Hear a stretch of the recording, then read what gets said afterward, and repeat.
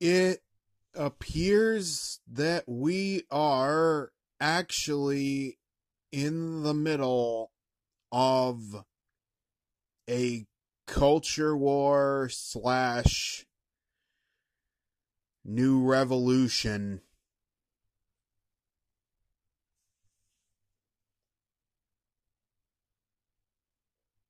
Actually, really, honestly, in the middle of big freaking changes.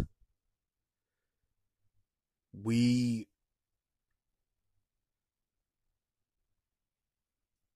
need to stand our ground. We need to tell them no.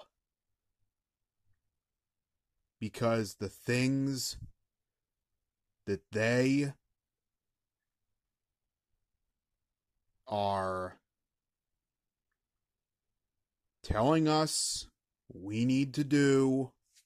There really isn't us and them, by the way. The things that they are telling us that we need to do are not right. They're not normal. They're not healthy ways to live. They're not happy ways to live. They don't, they're not safe. They have zero longevity.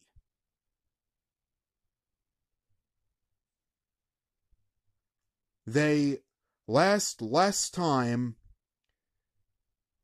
than a Toys R Us MP3 player.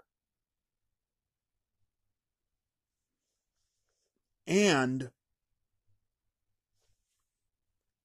they breed hatred.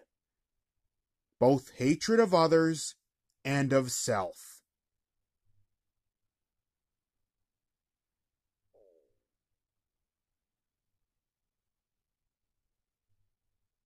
And they also cause you